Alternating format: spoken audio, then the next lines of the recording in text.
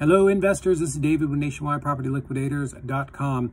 Uh, quick little update for you here. This property is 1615 Deadman Road down in Ringgold, right off of the old Alabama Road exit on 75. Uh, single wide trailer, nice lot, about a half of an acre, good neighborhood. Um, probate deal. We should be getting the lease in hand here this the next couple of days. This contract is ready for an assignment. Um, Rent is 475 could probably be bumped up as high as 550 uh, Long-term tenants in there that are not interested in moving unless they have to. Um, but let's go through here and let me show you a little video of the inside and some pictures. Thanks.